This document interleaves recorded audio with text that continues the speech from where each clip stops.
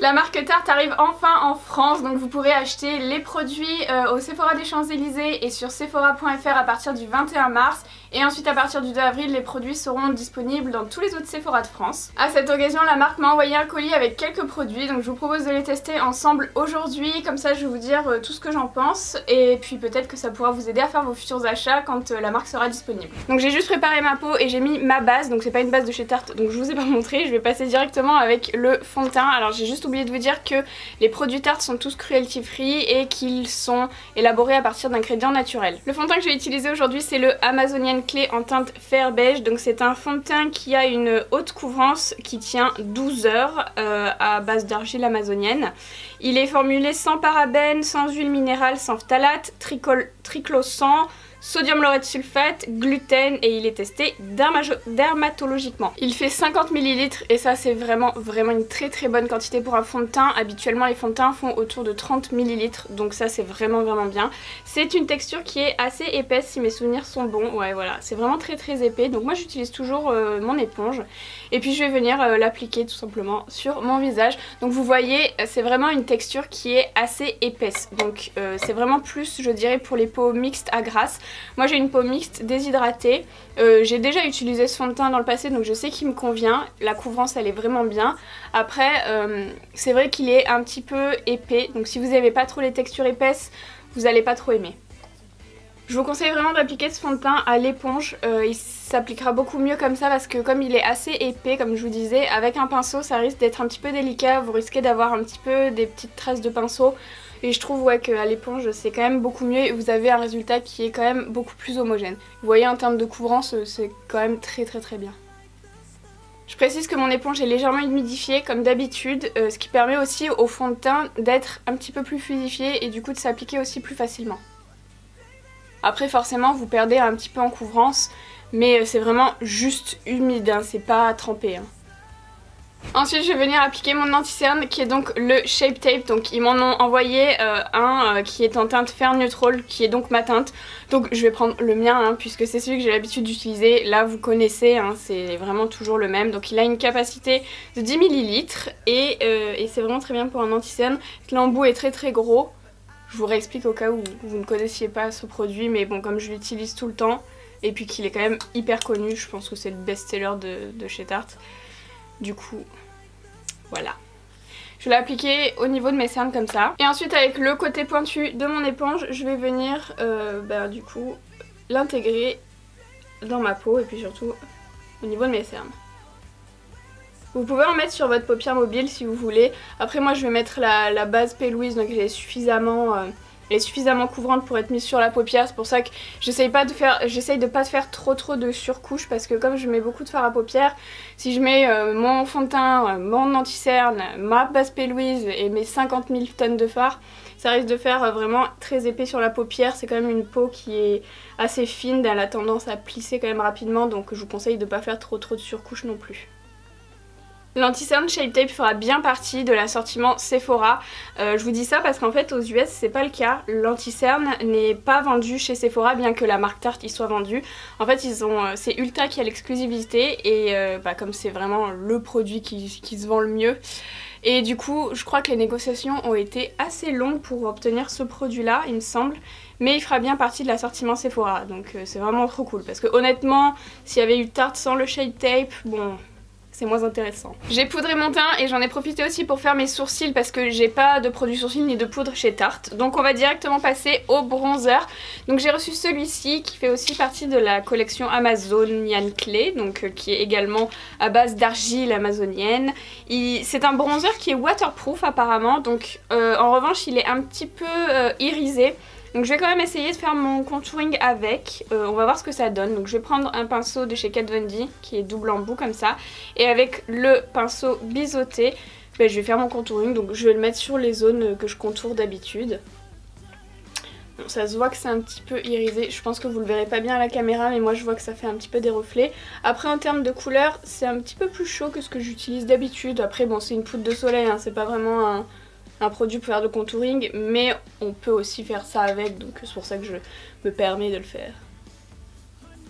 En termes de quantité, on est sur du 9 grammes, donc c'est pas mal. Et en fait, je vois à l'arrière que c'est vraiment un bronzer en argile d'Amazonie, pas à base. je sais pas trop ce que ça implique dans la formule.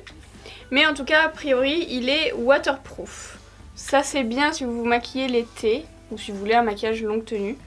Après, j'ai quand même du mal à comprendre comment un produit poudreux peut être waterproof, parce que pour moi, ce qui rend le produit waterproof, c'est les huiles volatiles. Et les huiles volatiles, c'est huileux. Mais bon, je ne suis pas du tout chimiste, hein, donc j'en sais rien, hein, mais... bon. Si quelqu'un peut nous éclairer sur le sujet dans les commentaires, vous êtes bienvenus. Sinon, pour faire le contouring, ça fonctionne quand même, même si c'est légèrement irisé et que, bon, moi je préfère quand c'est mat, mais ça fonctionne quand même, c'est pas des paillettes. Hein. Je vais passer maintenant à mon blush, donc j'ai reçu trois teintes du Amazonian Clay euh, Blush. Moi je vais choisir la teinte risquée, donc c'est un blush apparemment qui tient 12 heures et donc dans les petits euh, packaging, vous avez un petit miroir ici et du coup je vais utiliser l'autre embout de mon pinceau. Alors en swatchant, c'était assez sec. Mais bon, c'est pas plus mal aussi pour un blush parce que si c'est trop trop poudreux, on a tendance à faire des taches et en mettre trop. Donc au final, euh, je préfère quand c'est un petit peu plus sec pour un, blush au moins. Ça se dépose un petit peu mieux. Donc apparemment, il tient 12 heures. La couleur se dépose bien et la couleur est fort jolie. Donc je vous ai pas dit, je sais plus. C'est la teinte risquée. Et en termes de quantité, on est sur du 5,6 grammes, c'est très bien hein, pour un blush. Et maintenant je vais passer à mon highlighter, donc c'est le même packaging que, euh, que les blushs et pareil c'est la même collection, même grammage, même pack, vraiment tout pareil sauf que c'est un highlighter. Donc moi j'ai pris la teinte Stunner et je vais l'appliquer avec un pinceau de chez Nabla comme d'habitude c'est le pinceau highlighter et donc je vais le disposer aux endroits que j'ai l'habitude d'highlighter. En termes de teinte elle est vraiment bien parce qu'elle est assez claire en fait pour, euh, pour moi. Je trouve que c'est bien comme teinte. C'est vraiment un espèce de beige très très froid. C'est assez particulier. Il est limite argenté. Et du coup sur la peau il est très joli. Vous voyez? Il est vraiment bien. Il est pas trop épais donc il fait pas trop de, un aspect euh, croûteux. Franchement il est vraiment bien. Et pareil il tient 12 heures apparemment. Maintenant que le teint est terminé, je vais passer donc aux yeux. Donc j'ai déjà mis ma base P. Louise et j'ai reçu du coup deux palettes. J'ai reçu tout d'abord la tartelette euh, Toasted qui est comme ceci euh, avec des teintes assez chaudes et assez neutres. Donc il y a un miroir à l'intérieur et euh, il y a 1, 2, 3, 4, 3 x 4, 12. Il y a 12 fards à l'intérieur. Il y a du mat, il y a du métallisé, il y a du irisé. Donc il y a euh, un joli choix mais ça reste quand même très très neutre et puis bon très très chaud. Et j'ai aussi reçu la Tartiste Pro Remix qui fait aussi partie de la collection Amazonian Clay. Donc pareil il y a un grand miroir euh, à l'intérieur. il y a 20 fards cette fois-ci. Après j'ai pas trop compris pourquoi il y avait des ronds et des carrés. Je pensais que ça avait des finis différents mais au final euh, ils sont pas différents de tous ceux qu'il y a ici. Alors elle est très très colorée donc a priori c'est plus celle-ci que je vais avoir envie d'utiliser. Le seul point négatif et qui est quand même assez conséquent je trouve c'est qu'en fait il n'y a que des fards irisés, pailletés, métallisés. En fait il n'y a que trois mats, c'est le beige, le taupe et le noir. Ce qui fait que ça réduit quand même la possibilité de variété de look en fait. Après les fards sont vraiment très beaux, il y a de très très jolis finis. C'est juste que en une palette c'est assez difficile d'utiliser toute seule. Enfin on peut faire quand même pas mal de choses mais disons qu'on va un petit peu tourner en rond parce qu'on a que trois mats dont un qui est un beige donc c'est vraiment celui que vous allez mettre sous l'arcade sous sourcilière. Donc en gros en teinte de transition on a juste un taupe et en intensité un noir donc ça va être très très limité en termes de, bah, de dégradé dans le pli paupière, je trouve, parce que moi je trouve que c'est plus joli de travailler avec des mats sur cette zone-là, parce que ça, les fards à effet, ça a souvent tendance à pas être très joli quand c'est dégradé. En fait, c'est plus joli quand c'est vraiment posé, qu'on voit vraiment les effets. Enfin, c'est vraiment que mon avis. Du coup, euh, je trouve qu'elle est pas facile à utiliser telle qu'elle, mais elle va être intéressante à utiliser couplé à d'autres palettes. Donc au final je me suis dit que j'allais jongler un petit peu entre les deux. Après en les voyant comme ça franchement il y a plus de mat dans celle-ci mais ça reste quand même toujours autour du marron chaud donc il n'y a pas non plus 50 milliards de possibilités. Donc je sais pas, on va voir. Bon, on est là pour tester, donc je pense que je vais quand même jongler un petit peu entre les deux palettes. Euh, je vais commencer avec donc la euh, tartelette Roasted et je vais prendre une teinte de transition. Je vais prendre celle-ci, donc c'est la teinte Latte que j'applique dans mon pli paupière pour commencer avec un pinceau Zoeva 231. Je vais faire une forme assez étirée Donc je vais commencer par déposer ma teinte comme d'habitude. J'ai oublié de vous dire que les fards, ils sont très très parfumés. Un petit peu euh, comme les fards euh, de chez Too Faced. Alors j'ai pas 10 euh, milliards de palettes de chez Too Faced, mais vous savez comme les palettes chocolate ou peach là. Ça sent un petit peu là. Les deux, j'ai l'impression qu'elles sentent la même odeur. Je sais pas trop ce que c'est comme odeur, j'avoue. Mais voilà, c'est très parfumé. Donc là, je commence à étirer un petit peu ma forme. Et avec ce qui reste sur le pinceau, je vais bien dégrader les bords. Maintenant je vais venir prendre la teinte qui est ici qui s'appelle Cachemire avec le même pinceau. Je vais juste en prélever un petit peu et je vais euh, me mettre vraiment sur les bords de ma teinte pour finir mon dégradé, mon dégradé pardon, vraiment en douceur. Donc j'effleure vraiment le pinceau sur la peau. C'est vraiment pour que ça se fonde bien bien bien dans le reste de ma peau. Je vais garder le même pinceau et je vais passer à la teinte la plus foncée qui est ici qui s'appelle Fireside. J'ai juste euh, essuyé le pinceau rapidement hein, pour enlever un petit peu les pigments. Mais bon, comme on est quand même sur des couleurs qui sont assez proches, je peux me permettre de garder le même pinceau, ça m'en fera moins à laver. Et je le mets vraiment à la base, vous voyez Vraiment à la base euh, pour intensifier. Et je suis la même forme. Bon, pour l'instant, les teintes se dégradent très très bien entre elles. J'ai pas de problème en superposition. Vraiment, j'ai rien à dire pour l'instant. Après, bon, c'est pas non plus des couleurs qui sont difficiles à travailler. Hein, donc... Euh. Et là je vais passer à l'autre palette et je vais prendre le noir avec un pinceau un peu plus petit, donc le 230, toujours de chez Zoeva, j'en prends très très peu parce que le noir est vraiment hyper pigmenté quand je l'ai swatché, j'ai vraiment j'ai été impressionnée par la pigmentation. Et du coup je vais le mettre vraiment à la base, donc je le, je le dépose délicatement. Je vais pas en mettre jusqu'au coin interne, disons que je vais m'arrêter voilà à peu près là. Et puis je vais étirer ma forme. C'est pas grave si je salis un petit peu ma paupière, je vais venir la, la nettoyer après. Et pour bien intégrer le noir au reste, je reprends le pinceau précédent, je rajoute pas du tout de matière dessus et je vais doucement venir intégrer le noir au reste. Faut pas que ça fasse une, barre noire et après les autres couleurs. Faut vraiment que le noir il soit aussi dégradé avec les autres couleurs. Mais il suffit de vraiment venir effleurer entre euh, vers la fin du noir et avec l'autre couleur. Je sais pas si vous comprenez mais ça vient assez naturellement quand vous, quand vous allez le faire. Maintenant je vais passer au ras de cils et je vais faire ma base avec le Tartist, euh, je sais plus comment, Double Take Eyeliner. En fait il y a deux embouts, il y a un embout eyeliner feutre et l'autre embout en fait c'est un, crayon qui se tourne noir. Donc je vais utiliser pour le moment le crayon, donc je vais commencer par le mettre dans, dans ma muqueuse. Et il marque pas. Je pense que c'est parce qu'il est un peu neuf, je l'essaye un peu sur ma main. Et voilà c'est un peu mieux. Euh, il est pas incroyable non plus. Alors est-ce qu'il est fait pour être mis dans la muqueuse? Je suis pas sûre au final. Je pense que c'est plus un eyeliner en fait. Ouais non ça marque pas des masses, bon c'est pas grave. Je viendrai mettre un autre euh, crayon noir pour muqueuse là cette fois-ci euh, tout à l'heure. Mais je vais m'en servir de toute façon pour faire ma base au ras de cils inférieur donc je vais l'appliquer tout simplement. Il est très pointu hein, donc il est vraiment bien pour faire des traits aussi de crayon je pense des traits de crayon en guise d'eyeliner hein, bien sûr. Donc là avant qu'il sèche, je vais prendre un pinceau boule et puis je vais juste dégrader la forme pour pas que ça reste net. Alors ça sèche quand même très très vite parce que là j'ai un peu de mal à le dégrader. Mais au moins euh, je pense qu'il va bien bien tenir. Et puis je vais reporter les mêmes couleurs avec les mêmes pinceaux dans le même ordre et je vais essayer vraiment de relier en fait la fin des fards qui est ici avec le ras de cils inférieur.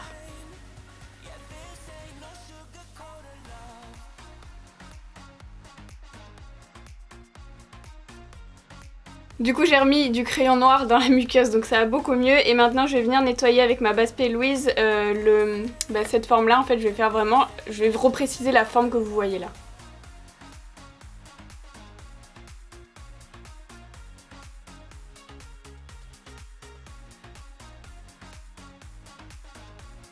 Que c'est propre, je vais venir appliquer euh, ben, des fards euh, à paupières.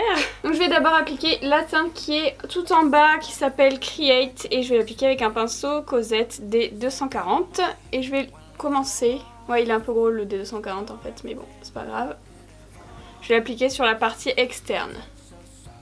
M'arrêter. Prenez un pinceau un peu plus fin, ce sera quand même un peu mieux, un peu plus précis. Je continue avec le bleu qui est ici, qui s'appelle Artiste. Et je garde le même pinceau, je le nettoie juste entre deux couleurs. Donc je vais juxtaposer les deux teintes. Je vérifie bien qu'elles sont bien dégradées quand même ensemble. Je continue avec le vert qui s'appelle Color Explosion. Alors lui il était pas très pigmenté quand je l'ai swatché. Ah non mais il est quand même très pigmenté sur la paupière. Rien à voir. Et je vais finir avec la teinte qui est ici qui s'appelle Art Déco. Et dans mon coin interne maintenant je vais appliquer un Chrome Paint euh, qui est en teinte Sun Drenched. Alors je pensais que ça allait être en fait euh, comme les paint spots de chez MAC, un peu crémeux. Mais en fait c'est des, pigments donc euh, voilà, c'est très très volatile. Les pigments sont pas hyper hyper fins, ils sont bah, un peu comme les pigments de chez MAC d'ailleurs, ça fait un petit peu des, des, petites bouloches. Bon, on va voir ça. Et ouais, enfin en fait je sais pas si c'est... En fait je sais, je sais pas, il y a des petites boules mais ça a pas l'air d'être très poudreux. En fait je sais pas trop, c'est une texture un peu étrange. Bon, je vais appliquer dans mon coin interne pour illuminer. Par contre ça illumine vraiment vraiment bien. Donc j'ai reçu trois couleurs, j'ai oublié de vous dire. Vous les avez à l'écran, les swatchs. Mais du coup j'ai pris la, plus claire parce que du coup c'est ce qui va le mieux quand même dans mon coin interne. Maintenant je vais faire mon eyeliner donc je vais reprendre le euh, crayon, enfin le double take eyeliner où j'avais utilisé le crayon tout à l'heure mais cette fois-ci je vais utiliser le côté eyeliner donc c'est une pointe feutre qui est vraiment un feutre donc en principe j'aime pas trop ce type d'eyeliner mais on va tester. Ouais, en fait, je trouve que ouais, par-dessus les fards, ce type d'eyeliner là, malheureusement, ça... C'est pas hyper hyper noir, vous voyez. C'est... J'aime pas trop en fait. Parce que moi j'aime bien quand c'est bien intense et bien noir. Là vous voyez en fait c'est un peu grisé. Après si vous faites votre eyeliner et vous avez très peu de fard à paupières dessous ou euh, pas de fard à paupières, ça va le faire mais là ça fait un peu gris quoi. Après sinon en termes de tracé, c'est assez facile à, tracer, hein, c'est un feutre. Donc voilà. Mais euh, ouais c'est pas, c'est pas noir noir quoi. Mais sinon il est, quand même facile à utiliser. Il sèche pas, là je l'ai pas du tout ressecoué donc c'est quelque chose qui se secoue, il y a une petite bille à l'intérieur. Là je l'ai pas ressecoué, il y a encore du, il y a encore du jus. Là j'ai rajouté juste un petit détail de liner doré parce que je trouvais que ça allait bien, voilà ça réveille un petit peu. Et on va passer au fossile mais avant ça je vais mettre du mascara. Donc j'ai reçu deux mascaras, tout d'abord j'ai le Tartiste euh, qui a une brosse en picot un petit peu plastique que j'aime bien, plastique ou silicone je sais pas trop que j'aime bien, j'aime bien ce genre de brosse là et j'ai aussi reçu le Light Camera Lashes qui lui a une brosse euh, un petit peu plus grosse et plus classique. J'ai pas besoin de mettre beaucoup de mascara donc je vais prendre le Tartiste parce que je suis plus habituée à ce genre de brosse là et je trouve que ça attrape quand même mieux les cils. Je veux juste mettre une petite couche de mascara avant de mettre mes faux cils mais... Euh, parce que je préfère mettre des faux cils, après vous n'êtes pas obligé d'en mettre mais... Mais moi j'en mets. La brosse attrape hyper hyper bien les cils, j'adore ce, genre de brosse et pour le coup là j'ai mis vraiment une seule couche. Vous voyez pas très bien parce que j'ai beaucoup de, maquillage. J'ai les cils assez longs aussi mais, euh, franchement il, il, elle est bien noire et puis il les a bien séparés surtout. J'ai mis mes fossiles, donc ce sont les nouveaux euh, Beauty en collaboration avec euh, Jacqueline Fernandez. Donc il s'appelle Jacqueline numéro 20. En fait ce sont euh, des, fossiles qui sont assez naturels parce qu'ils ont euh, vraiment plusieurs petits poils un petit peu dans le désordre. Et il y a des poils marrons et des poils noirs. Donc si vous cherchez un effet naturel mais qui soit quand même un petit peu voyant, je vous conseille ce modèle là. Et enfin on va finir par les lèvres. Donc j'ai reçu deux teintes de Tartist Lip Paint. Donc ce sont des rouges à lèvres liquide mat. Je pense que je vais opter plutôt pour la teinte Bestie qui est la teinte la plus claire parce que j'ai peur que le marron se soit un peu trop foncé avec ce que j'ai fait. Donc voilà je vais l'appliquer tout de suite. Alors par contre quand je les ai swatchés euh, j'ai trouvé qu'ils se déphasaient assez vite. Enfin en tout cas Celui-ci, le Bestie que je vais appliquer, il était carrément huileux, donc j'ai dû vraiment le secouer et le mélanger, mais il reste légèrement huileux, donc je pense que c'est des produits qu'il faut vraiment secouer. En termes de texture, ils sont vraiment très très fluides. A voir avec une teinte plus foncée parce que là comme c'est une teinte naturelle, s'il y a un petit peu de différence dans l'application, qu'il y a quelques trous, on le verra pas forcément. Ce qui n'est pas le cas avec un rouge à lèvres plus foncé, donc euh, voilà. En tout cas c'est vraiment très très fluide. Et du coup c'est plutôt agréable parce qu'on sent vraiment pas la matière. Donc là c'est le résultat final, ça sèche assez vite et c'est vraiment bien mat. Après moi j'ai envie de mettre un gloss par dessus parce que je suis un peu dans ma période gloss et puis que j'ai envie d'un truc un petit peu plus rosé. Donc je vais utiliser un gloss de chez Lime Crime, le Baby Cherry.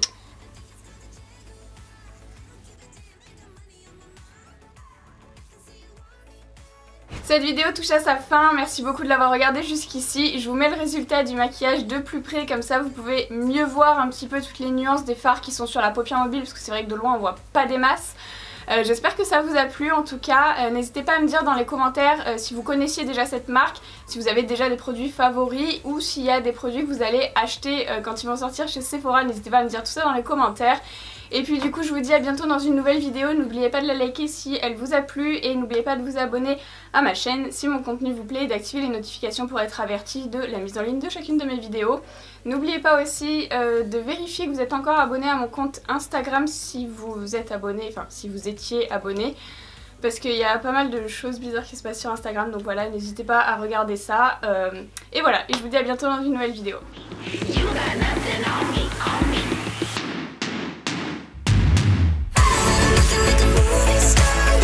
me up in your new sports car.